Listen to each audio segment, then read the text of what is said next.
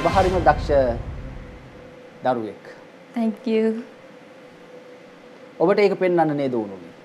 ඔව් ඒ කිව්වේ සාමාන්‍යයෙන් මුස්ලිම් ගෑන් ළමයි මේ පාසල් යවන්නෙත් ඕලවල වෙනකන්නේ ඒත් මම ඒක අම්මා තාත්තලාට කියන්නේ දරුවන්ට ඉගෙන ගන්න දෙන්නේ නැහැ කිව්වොත් ජීවිතේ කවදා හරි දරුවන් ඉස්සරහට ගිහිල්ලා ඔයාට සතුටක් ලැබෙන්නේ දරුවෝ ඉගෙනගෙන හොඳ තැනකට ගියොත් තමයි. එතකොට මම කියන්නේ ඉඩ දෙන්න.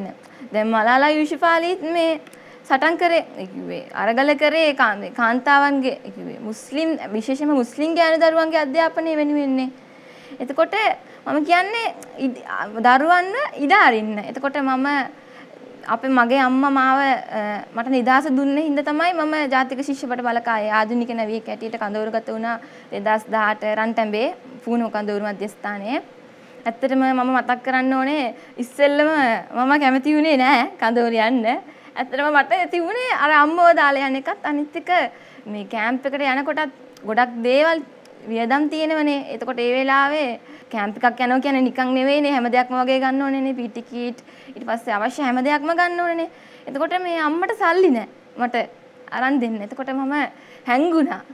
ඉස්කෝලේ ටීචර්ස්ලා ඔක්කොම හොයාගෙන එන එන්න පුතේ මේ දැන් ඔයාගේ නම ඇතුළත් කරලා තියෙන ඔයාගේ නැත්තම් ටීම් එකටම අවමානයක් තමයි වෙන්නේ. ඒ කිව්වා ටීම් එකේ ලකුණු අඩු වෙනවා එහෙම කියලා. ඊට පස්සේ මේ මම මම කිව් මම හැංගුණා මට ඒක කියන්න තරම් ධෛර්යයක් ඒ වෙලාවේ තිබුණේ නැහැ. මට එතකොට මට අම්මට කියන්නත් බෑ මට අරන් දෙන්න හැම දෙයක්ම මට යන්න ඕනේ මේ කියලා. ඊට පස්සේ මේ මගේ ටීචර් රම්‍ය ලතා ගුරුතුමිය තමයි ශිෂ්‍ය අපේ පාසලේ ශිෂ්‍ය බට බලකායේ කසුදර්ම මහාවිද්‍යාලයේ මේ වාරව වාරව හිටියේ නේවි එකේ එල්.එෆ්. චන්දන සර් තව බෝපත් ලල්ල සර් ඒගොල්ලෝ සර්ලත් මට ගොඩක් උදව් කරා. ඊට පස්සේ මගේ ටීම් එකේ කට්ටියවත් මතක් කරන්න 24 දෙනාම මතක් කරනවා මම. එතකොට ටීම් එකේ කට්ටියට දන්නේ මට උදව් කරපු විත්තිය මම මේ මොහොතේ ස්තුති කරනවා. එතකොට ටීම් ලීඩරුයි ටීචරුයි එකතු වෙලා කිව්වා මේම අනන්‍යතාව හෙලි කරන්න බැරි දරුවෙක් ඉන්නවා උදව් කරන්න. ඕගලන්ට පුළුවන් විදියට ගෙනල්ලා දෙන්න කියලා. ඊට පස්සේ ඒගොල්ලෝ උදව් කරලා තිබ්බා. ඉස්කෝලෙන් තමයි මට උදව් කරේ ශිෂ්‍ය බට බලකායට යන්න. එතකොට මම ඇෂුවල් දිව්වා. ඊට පස්සේ කැම්ප් එකේදී ප්‍රසන්ටේෂන් කරා. ඇත්තටම ගොඩක් කිව්වේ කැම්ප් එකේ ඉඳපු හැමෝම පුදුම වෙලා මම ප්‍රසන්ටේෂන් එක කරනකොට මම කරේ මේ උතුරු කොරියාවේ සමාජවාදය සහ පරමාණුක න්‍යෂ්ටික ශක්තිය පිළිබඳව එතකොට මම ප්‍රසන්ටේෂන් එක කරනකොට හැමෝටම පුදුමයි මේ මුස්ලිම් දරුවෙක් මේව සිංහල කතා කරනවා කියනකොට.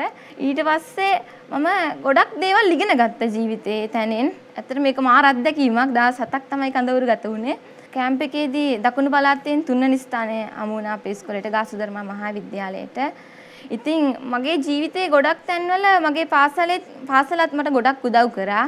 ඒක මම කවදාවත් අමතක කරන්නේ නැහැ. මට ඕන උනේ හැම දෙයක්ම ඉගෙන ගන්න. මට ඕනේ උනේ හැම දෙයක්ම දැනගන්න. කිව්ව එතකොට මට හිතුණා එතකොට මට ජීවිතේ මට යන්න පුළුවන් හොඳම තැනට මට යන්න පුළුවන් කියලා හිතුණා. ෆාතිමා මොනවද ඔබට දැන් දැනෙන්නේ? මට ලොකු සතුටක් දැනෙනවා මට සල්ලිගෙන නෙවෙයි. මගේ දරුව ඉදිරියට තව යනවයි කියලා මම ප්‍රාර්ථනා කරනවා තව එයා යයි කියලා මට විශ්වාසයි. ඔබට තියෙන ශක්තිය මොකක්ද? මට තියෙන ලොකුම ශක්තිය මගේ අම්මා මගේ පවුලේ කට්ටිය, මගේ ආත්ම විශ්වාසය, මගේ හිතේ තියෙන අර දැඩි බව හා ධෛර්යය මට ගොඩක් ප්‍රයෝජනවත් වුණා මගේ ජීවිතේ ඉදිරියට යන්න.